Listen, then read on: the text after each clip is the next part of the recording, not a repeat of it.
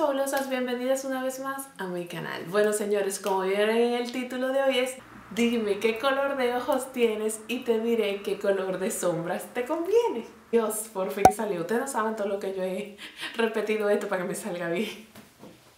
Bueno, señores, pues sí, eso es lo que tenemos en el día de hoy. Bueno, señores, este video yo lo hago a modo de eh, necesidad propia.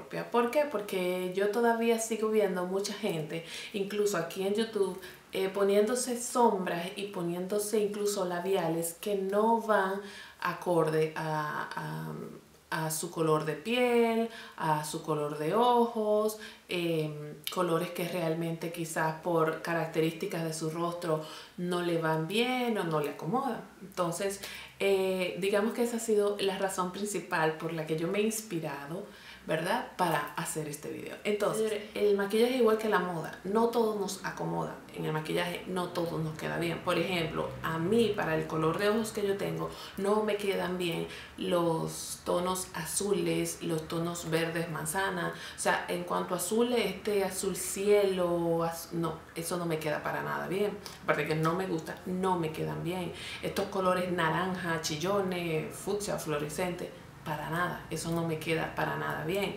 Para mi tonalidad de ojos, que gracias a Dios es realmente también lo que me gusta, me quedan bien los colores cálidos, los colores eh, eh, violetas, marrones también, los rosaditos, ese tipo de colores son los que me quedan. Pero bueno, vamos a empezar eh, con los colores azules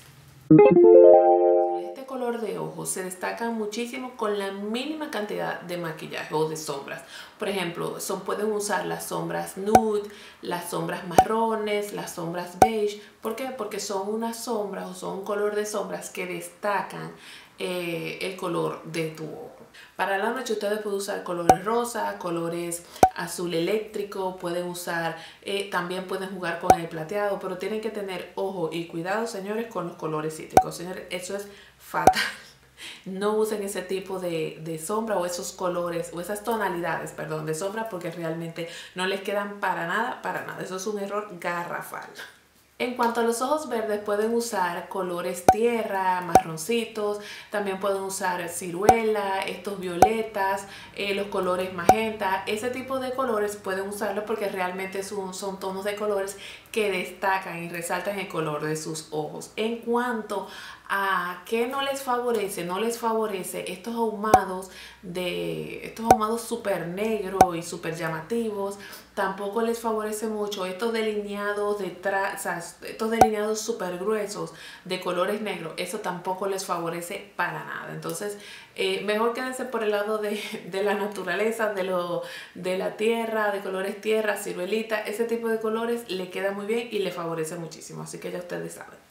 Y en cuanto a los colores que son eh, color miel, marroncito, medio verdoso, uno no sabe de qué color es, si es verde, si es miel, si es marrón, este tipo de colores les favorece mucho los colores tierra, los marrones, los beige, les favorece mucho también los lila, moraditos, los rosaditos, los dorados, incluso los plateados. Pero tengo que acotar que el color marrón en sí le favorece cualquier tipo eh, o cualquier tono de sombra. Ese es, eh, ese es como quien dice el color de ojos perfecto porque realmente puede jugar con cualquier eh, tonalidad de sombra que exista. Lo que sí tienen que tener en cuenta y tener cuidado es a, las, a la hora de crear el maquillaje en conjunto. Pues no vamos a tener el, lo que llaman efecto arcoíris, la sombra de un color, el delineado de otro, el labial de otro, el colorete de otro y al final lo que tenemos es un, un arcoíris. Pero sí, el, el la tonalidad o el ojo marrón realmente es como quien dice el perfecto porque puede usar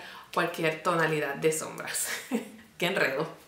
Y bueno, ya por último nos quedan los ojos color negro. A estos, a estos les favorece casi todo, pero realmente lo que los destaca son los colores ocre, los verdes oscuros, los tonos champán. Lo que sí tienen que tener cuidado son con los delineadores porque a veces nos excedemos y realmente no quedan bien pero realmente le queda muy muy bien la mayoría de los tonos. Y bien mis queridas amigas, esto es todo por el video de hoy. Espero haber sido bastante clara y haberme explicado bien. Si tienen alguna duda me lo dejan en los comentarios que yo con gusto les responderé. Si quieren que haga eh, videos de, de otro tipo o de algún tema en, en específico También me lo dejan en los comentarios y yo por mi parte, como siempre, les dejo en la cajita de información los links a Facebook, Twitter, Instagram, Snapchat y Pinterest. Así que nada, manitas arriba como les dije y nos vemos en un próximo video. Chao, chao.